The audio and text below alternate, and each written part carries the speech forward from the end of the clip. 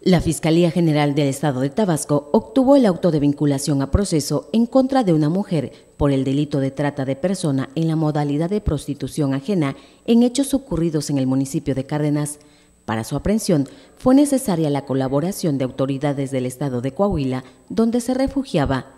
En audiencia celebrada el pasado 25 de mayo, el juez de control de la región judicial 8 vinculó a proceso a Rosa N confirmando además la medida cautelar de prisión preventiva al existir elementos suficientes de su probable participación en hechos. De acuerdo a la información asentada en la causa penal 300-2021, desde el 2018, Rosa N.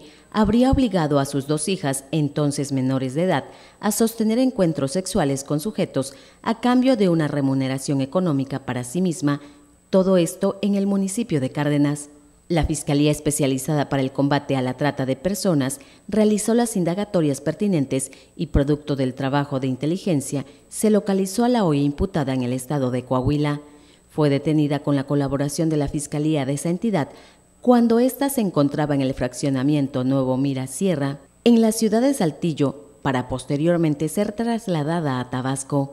Luego de ser puesta a disposición de la autoridad judicial, fue ingresada formalmente al Centro de Reinserción Social del municipio de Cárdenas.